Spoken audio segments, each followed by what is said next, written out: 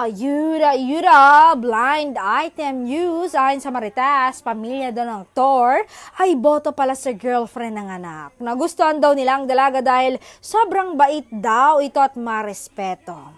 At pinalaki daw siya ng mga magulang niya na may takot rin sa Diyos. Oh my God, pasok na pasok na talaga sa banga sa pamilya ng aktor itong si Dalaga.